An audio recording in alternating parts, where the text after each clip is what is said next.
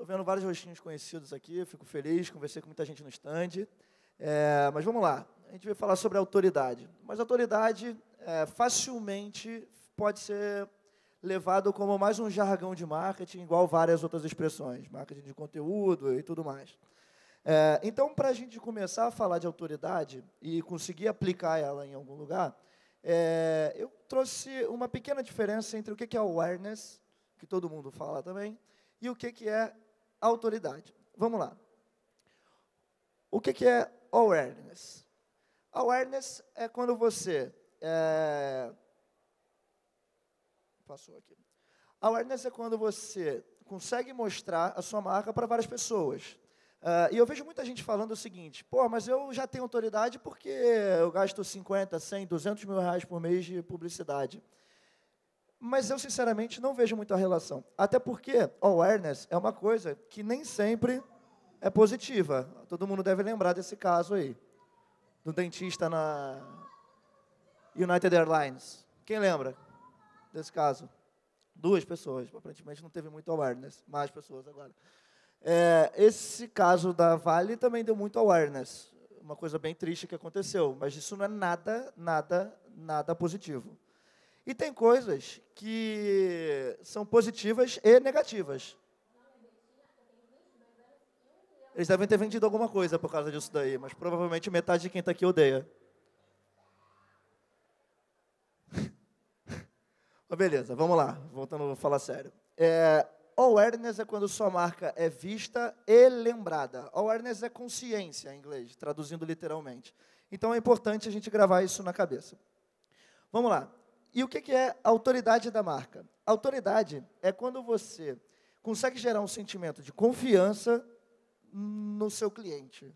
E ele fica muito tranquilo em gastar o dinheiro com você. E ele sabe que ele, tá, ele fica tranquilo em botar o dinheiro na sua mão. Isso é um sentimento. Isso não é uma forma racional de pensar. Vocês concordam? É, e eu trouxe um exemplo aqui. Essa galera aí da NASA, todo mundo usa casaco, adora e tal.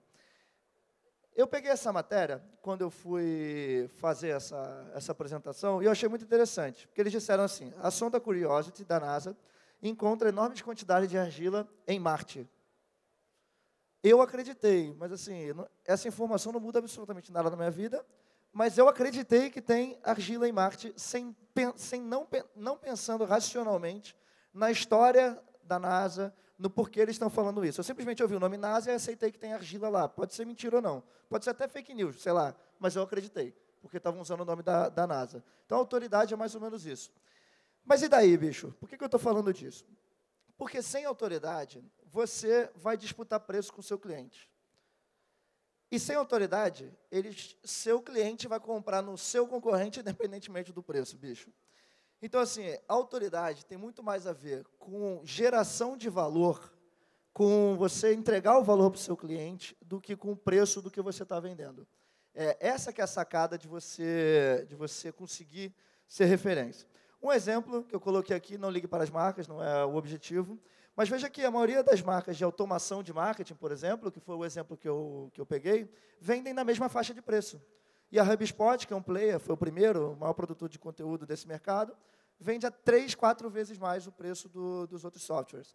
Isso é um bom exemplo do que a autoridade pode fazer com, com, com o produto. E assim, a autoridade é um negócio que sempre foi importante. É, antes da internet, a gente fala muito de internet agora porque é mais fácil. Você senta ali, está no seu computador, aperta um botão e sai qualquer coisa. É, mas isso sempre foi importante, mesmo antes da internet. Alguém já viu essa propaganda aqui, da BMW? Isso foi uma propaganda muito icônica. É, isso foi, rolou acho que uns 10 anos atrás. É, Your Move, para quem não sabe, em inglês, é, é, uma jogada no xadrez. Né? Você vira e fala, sua vez, basicamente. E a BMW, a, a Audi, com esse Audi A4, desafiou a BMW é, com esse jogo. E agora, eu montei esse carro aqui, o A4, e você? A, B, a BMW respondeu, botou um outdoor do lado escrito checkmate. Para quem não sabe, é a jogada final do xadrez. É, nesse caso, não tem nada a ver com internet, mas eu acho que as duas marcas conseguiram um ganho de autoridade muito legal. Porque quem sã consciência desafia a BMW, ou quem sã consciência responde com outdoor. É, você tem que confiar muito na sua tecnologia, no seu produto para fazer uma brincadeira dessa. Então, eu achei muito legal. Mas vamos voltar aqui, a gente está falando de internet. O que, que muda com a atual velocidade da informação? Com a internet, com o Google, com tudo isso? Para explicar isso, eu trouxe aqui dois modelos mentais. Para quem não sabe, modelo mental é uma forma simples de tentar representar a realidade. Só isso. Nada está bonito a imagem, mas é nada muito complexo. O primeiro modelo que eu vou falar, ele foi muito usado até 2011. Até 2011. Chama Primeiro Momento da Verdade. Basicamente, ele diz o seguinte: o modelo mental do marketing nessa época era o seguinte: estímulo. Para você comprar alguma coisa, eu tinha que te gerar um estímulo e depois você ia numa loja procurar o, informações sobre o produto. E depois, você, depois que você decidisse comprar o produto na loja, que é o primeiro momento da verdade, você ia de fato ter a experiência do produto. Gostei, não gostei. Sei lá, vou numa loja, alguém falou que eu tinha que comprar um celular, eu acreditei nisso. Fui lá na loja, olhei vários celulares, comprei. Primeiro momento da verdade. Segundo momento da verdade. Usei, gostei, não gostei. Beleza? É isso. Por que eu estou falando disso? Porque esse modelo ele tenta representar o processo de compra natural de qualquer produto uh, que você compra. Esse processo de compra tem cinco etapas. A primeira dela você reconhece um problema. Acho que ninguém vai discordar disso aqui. A segunda etapa, você busca informações sobre aquilo ali, sobre um, pro problema que você tem. Depois você vai avaliar todas as informações que você viu, que você, que você olhou finalmente você decide comprar e depois você vai experimentar o que de fato você comprou, se está dentro do que você esperava ou não. Beleza? Então, o nosso primeiro modelinho, o estímulo, ele vai agir no reconhecimento do problema. Eu vou te estimular a perceber que você tem um problema.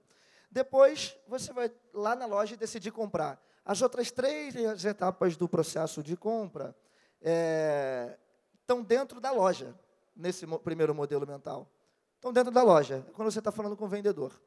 E o, último momento é quando você vai lá, usa e tudo mais. Beleza? Então, nosso modelinho ficou mais ou menos assim, para quem está tirando foto. Só que, com toda essa velocidade de informação, com internet, com tudo isso, a forma de influenciar essas duas etapas que estão aqui no telão mudou, obviamente. Vocês mesmos já devem ter achado estranho. Então, o Google, em 2011, montou esse outro modelo mental que chama Zemote, momento zero da verdade. Então, o estímulo do marketing continua existindo. A diferença é que, ao invés de você ir na loja, você tem um novo momento seu. Ao invés de você procurar informação com o vendedor, você vai procurar na internet. Antes de você contratar uma empresa, você, vai no, você não vai lá no meu estande, você vai olhar com o teu amiguinho do lado que já usou. É, então, essa nova etapa muda completamente o jogo. E depois que você busca todas as informações, você vai lá na loja e efetivamente compra e depois você usa. E mais uma coisa que mudou, a experiência que você tem impacta no primeiro momento da verdade do outro, do, no momento zero da verdade do outro consumidor. Se você não gostou, você vai avisar para todo mundo que foi horrível. E essa pessoa também não vai comprar. Então, basicamente é isso. E em 2012, eu só consegui esse dado de 2012, 84% das pessoas já indicavam que o, que o momento zero da verdade era o momento que fazia elas decidirem por uma compra. Então é importante a gente gravar isso, beleza? E daí? Né? Eu falei para caramba, nada de autoridade, nada de seis formas. É, a graça, cara, é que você não tem mais controle, bicho, sobre o que o seu cliente pensa de você. Quando ele vai falar com você, ele já viu tudo. Quem que não já teve aquela experiência de chegar numa loja e saber mais que o vendedor? Cara, banco é bizarro, porque você tem um gerente que fala com 300 produtos de mil pessoas, ele não faz a menor ideia do que ele está fazendo, é, na maioria das vezes, né? É, então, assim, você não tem mais esse controle, você já tem tudo na internet, já perguntou para as pessoas.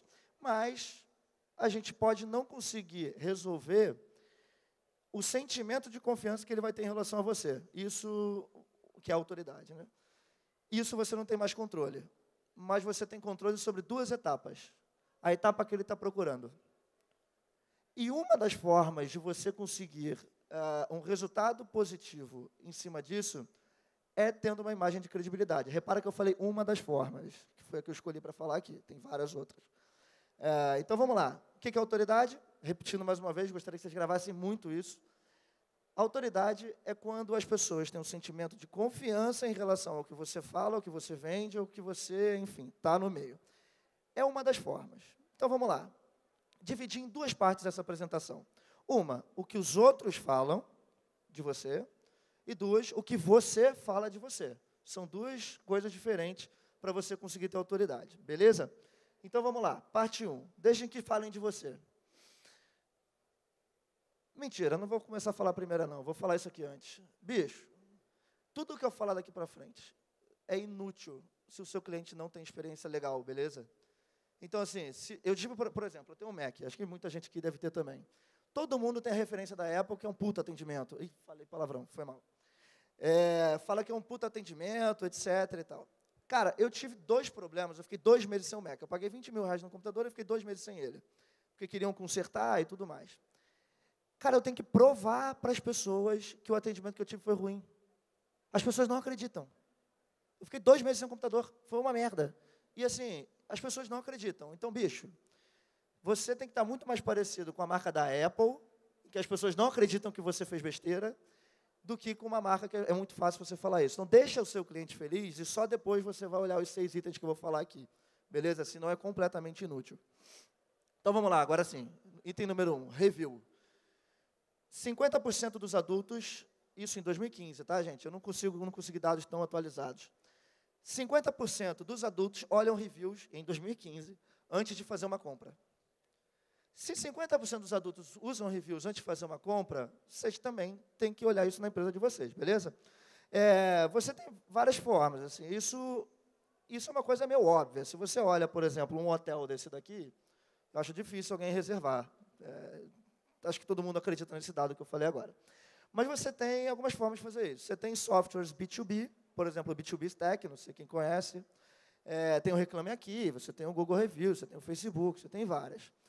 Aí você me diz, porra, mas um cara que está puto comigo, é muito mais fácil dele vir lá e reclamar, bicho. Porque ele tá, é, é, é mais fácil ele reclamar de mim do que um cara que está feliz ir lá e falar bem.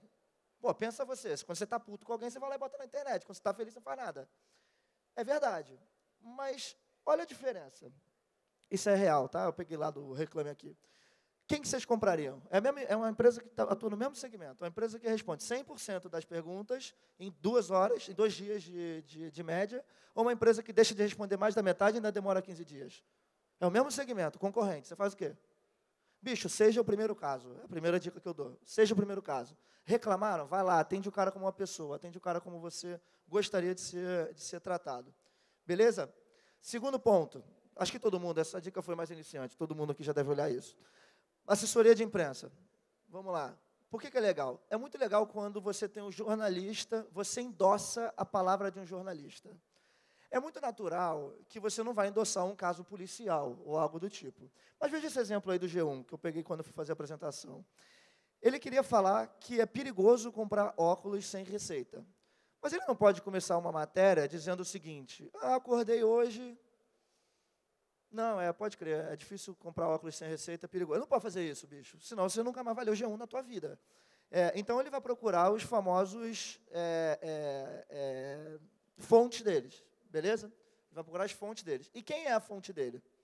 Assessoria de imprensa. Beleza?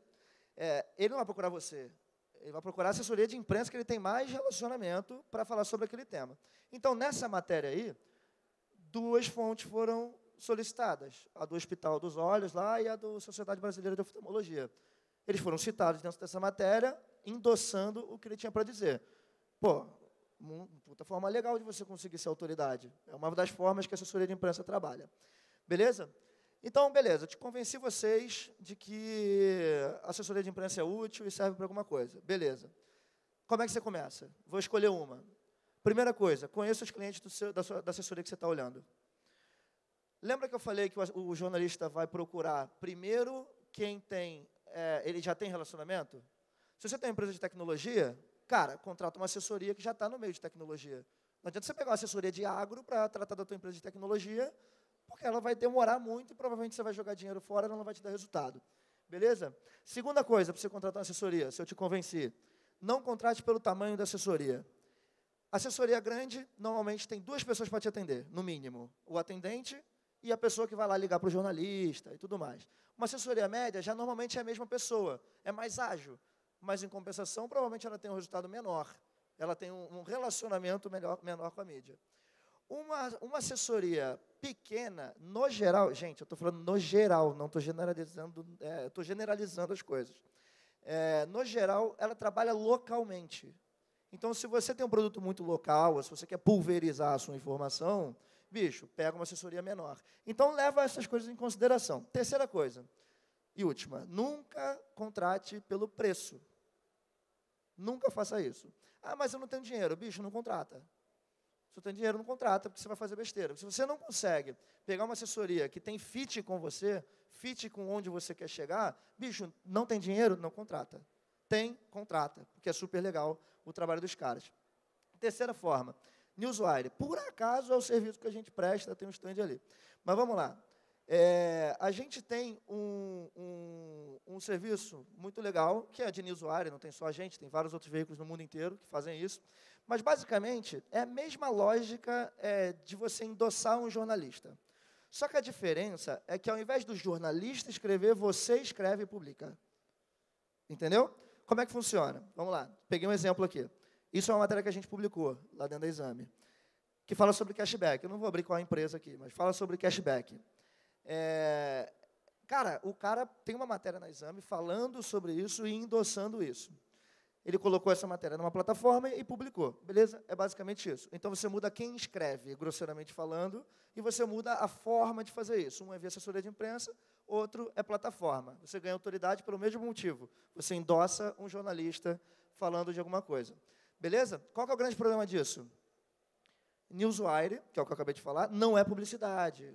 Então o pessoal vai lá e quer publicar, por exemplo, é, pague dois, leve cinco. Não vai publicar isso, porque isso não é a ideia desse serviço. Isso é publicidade, não tem nada a ver com autoridade. Lá no Dino, por exemplo, a gente tem uma mesa editorial com um monte de jornalista que olha todos os textos para ver se você não vai ter nenhum problema publicando um negócio que vai tirar a tua autoridade. Beleza? Dicas para quem quer começar a usar. Escolha os veículos que fazem sentido. Se você é de tech, não adianta publicar em agro, porque não faz o menor sentido.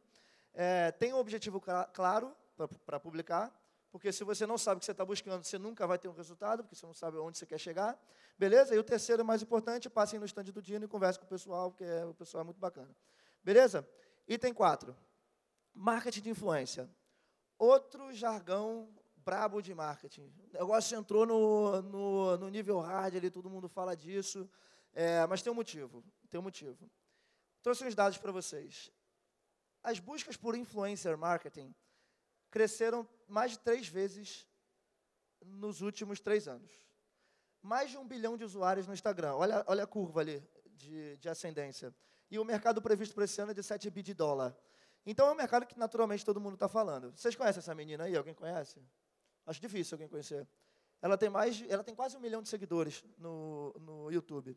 E como eu tenho pouco tempo, eu trouxe um exemplo mais prático para mostrar para vocês o que, que é esse negócio e porquê que eu acho que isso ajuda na autoridade.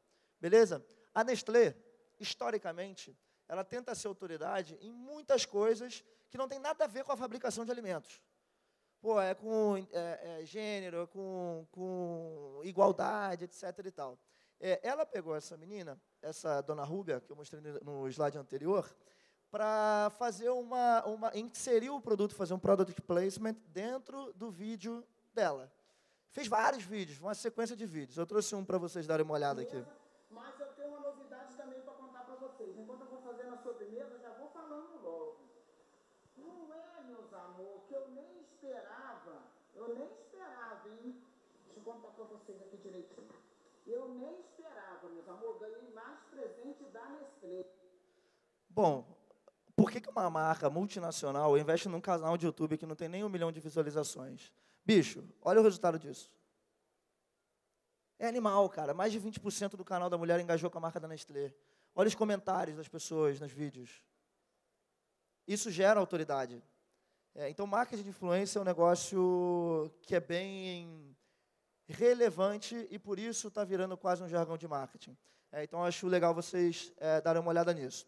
Beleza? Para contratar, como é que eu faço isso daqui? Entenda quem tem real influência. Não adianta você contratar um ator para falar de um produto de tecnologia se ele não entende nada de tecnologia e se você está forçando ele a falar do seu jeito. Ele tem que falar do jeito dele. Beleza? É, influência não é publicidade. Aquilo ali não era publicidade. Ela, ela fazia os vídeos daquele jeito. Não adianta a Nestlé querer que ela fale um português robusto e tudo mais, porque isso é publicidade, não é influência. É, e como é um mercado muito incipiente, eu sugiro que vocês contratem uma plataforma ou uma agência, se vocês tiverem caixa para isso, porque é um negócio muito interessante quem sair agora está na frente. Tem muita gente de influência aqui, tem um pessoal do Influência que passa direto lá no Dino também. Se vocês quiserem depois conversar com o pessoal, tem lá. Beleza? Parte 2. Até agora eu falei do que falam de você. Agora, o que, que você fala para as pessoas? Primeiro item, content marketing. Marketing de conteúdo, isso aí todo mundo já ouviu, está falando disso aí há uns 10 anos já. Mas vamos lá, para a gente deixar o objetivo e entender claro, objetivo em três frases, o que é marketing influência. É quando uma empresa que não é de mídia se comporta como uma empresa de mídia. Beleza? Eu não sou uma empresa. Tá, eu sou uma empresa de mídia, então no meu caso não conta muito. Mas, por exemplo, a, a HubSpot, que está ali do lado, não é uma empresa de mídia. Mas eles produzem conteúdo mais do que muita mídia por aí. Então, basicamente, isso é, é conta de marketing. É construir sua própria audiência ao invés de pagar por uma. Ao invés de sair pagando publicidade por aí, você constrói sua própria audiência. Seja a base de e-mail, seja as pessoas que já, já, já leem seu conteúdo, etc. E tal. Produzir conteúdo que seja útil para o público. Esse é o meio para você alcançar os dois últimos itens que eu falei. Beleza? Isso, para mim, são as três fases, frases que definem o que, que de fato é content marketing. Eu trouxe um exemplo para vocês, muito legal, para mim é o meu exemplo predileto de content marketing. É, é uma revista que chama The Furrow. Ela tem 124 anos e foi criada pela John Deere. Todo mundo deve conhecer, uma empresa de maquinários multinacional enorme. Eles passaram 124 anos criando o próprio conteúdo deles. O, o business deles é vender máquina. Eles passaram 124 anos criando conteúdo para gente, para a galera de agronegócio ao invés de ficar comprando só, né, eles também compram publicidade, não estou dizendo que a publicidade vai morrer, não é isso que eu estou falando, mas eles criaram uma revista muito forte para esse mercado e economizaram com certeza bastante grana, grana com mídia e ganharam muita autoridade com esse mercado. Você entende o que, que é o que, que é o content marketing é, é, no geral? Não é só você sair publicando um monte de conteúdo por aí numa LP, pegar o contato das pessoas e depois ficar enchendo o saco um monte de e-mail. Beleza? É, e hoje está muito fácil você conseguir fazer content marketing. Com a popularização da internet, de 10, 15 anos para cá, você, cara, faz um e-book, um livro, uma matéria, um blog, tem as meninas ali do, do canto que fazem matéria de tecnologia, você contrata lá, aperta dois botões, você tem um conteúdo. É, mas vamos lá. É fácil. Mas como é que faz? Primeira coisa, três dicas também. Conversa com os clientes. Se a ideia é você produzir conteúdo útil, é útil para quem? Para o seu cliente. Se você não sabe qual é a dor dele, como é que você sabe que vai fazer alguma coisa que é útil? Conversa com o cara que é o seu cliente. Entenda qual que é o, o, o, o fluxo, a jornada dele, onde ele sente dor. Aí você consegue criar conteúdos, faz uma planilha, bicho. Bota lá um monte de linha. Bota lá, dor tal, dor tal, dor tal, dor tal. Aí você bota para alguém lá escrevendo um conteúdo sobre essas pautas, da forma mais simples possível. Converse com as pessoas. Assim você vai conseguir ajudar elas. Beleza? Clique clusters pra, na sua base. Para quem não sabe o que é cluster, basicamente é um grupo de, de, de dados reunidos, beleza? Grosseiramente falando. É, por exemplo, no Dino a gente tem dois clientes muito claros: assessoria de imprensa e empresas, grosseiramente falando. Se eu mandar um e-mail que era para enviar para o assessor de imprensa para uma empresa, bicho, o cara vai ficar olhando para a tela tentando entender o que, que eu estou fazendo da minha vida. Porque não é a dor dele, bicho. A dor da assessoria é diferente da, da, da empresa. E o inverso é verdadeiro. Então, deixe grupos muito bem organizados é, nas suas plataformas de automação, no Excel de vocês, no que vocês escolherem usar. Beleza? Última dica de content marketing, para mim é a mais importante, bicho, não faz clickbait. Clickbait, para quem também não sabe, é aquele título que você fala, cara, aquele negócio parece prometer Deus e o mundo, você clica, não tem nada daquilo ali. Tem duas fotos e uma frase. Cara, isso é irritante. Isso, ao invés de te ajudar a ter autoridade, isso vai acabar com a que você tem. Entendeu? Não façam isso, gente. Vai dar muita audiência se você fizer, mas não faz isso. É a audiência que vai te odiar para sempre. Não faz. Beleza? Última coisa: palestras e eventos. Cara, isso é um meio muito legal e pouco utilizado por muitas empresas. E eu dou duas dicas. Isso aqui, esse, esse tema é mais rapidinho. Um, tenta fazer um conteúdo que é prático e é útil para as pessoas, porque elas vão parar para te ouvir e você, de certa forma, vai conseguir autoridade. Por exemplo, que eu estou me, esfor me, esforçando horrendamente aqui, eu espero estar conseguindo. Segundo ponto, palestra não é pitch de vendas. Quem nunca presenciou aquela palestra? Que você entra assim, pô, beleza, vou lá assistir a palestra sobre um tema X. Aí o cara entra, abre o produto dele e começa a falar um monte de coisa para você comprar no final. Bicho, isso é irritante, isso acaba com a autoridade que você tem. Não faz isso se alguém te chamar para dar uma palestra, pelo amor de Deus. Faz um jabá mais bonito que nem o meu, bota o login aqui no canto, alguma coisa do tipo, beleza? Que tipo de eventos você consegue fazer? Onde você, onde você procura isso? Você tem eventos de terceiros, que é tipo esse do Superlógico que eu estou participando, que você tem um baixo custo, um baixo custo, aquele negócio ali não, não, não é tão caro. Você também não tem uma alta exposição, tem 4 mil pessoas aqui só, 4.200 pessoas, se não me engano. É, eventos próprios, é tipo o da Superlógica, eles gastaram uns 2 milhões de reais fazendo esse evento. Então tem um custo alto, mas também tem uma alta exposição. A terceira opção que você tem eventos online. É, tem um, um custo baixíssimo, e se você fizer direitinho, você vai ter uma exposição muito bacana às vezes muito maior do que um evento presencial seu mesmo. Por exemplo, tem um amigo que provavelmente está por aí em algum lugar, é, ele chama PH, ele fez uma, um evento online que chama ID Summit, que é para imobiliária, digital e tudo mais. Bicho, o cara em uma semana conseguiu, sei lá, 10 mil leads e gastou muito pouco. É, então, assim, eventos online é muito interessante, mas você precisa ter conteúdo bacana e fazer isso de uma forma estruturada. Beleza? Tá. Falei pra caramba, e daí? Lembra desse modelinho que a gente falou? A gente pode atacar também essas duas etapas do marketing que ultimamente a gente influencia de forma diferente. Então, cara, eu fiz minha parte. Assim, cabe a vocês agora escolher se vocês vão ser meros compradores de mídia que só vão querer atuar na parte de estímulo de marketing, ou se vocês vão querer atuar no marketing como um todo e criar fãs para a marca de vocês. Bicho, eu acho que é uma decisão meu no-brainer. Então, eu deixaria essa, essa indagação no final. Esses são meus contatos, vocês podem me adicionar lá, eu respondo. É, gente, agradeço muito. Beleza? Gente, mais uma vez, muito obrigado. Escolham um lado de vocês. Um abraço.